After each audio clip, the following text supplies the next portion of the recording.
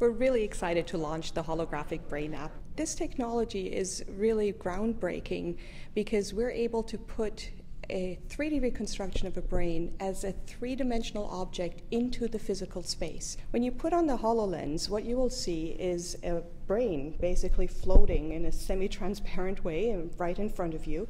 You can then rotate the brain, you can isolate specific structures, you can label them with these little air taps.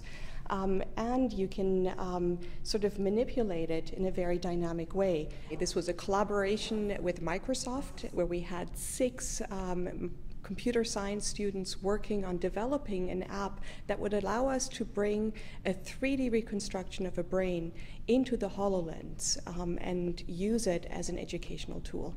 Now, when you relate the image that you see here to this, you can really see the tail of the caudate expanding right into the temporal lobe there the fact that you can walk around the brain, you can look underneath it, above it, you can reposition it, um, just really changes um, that understanding.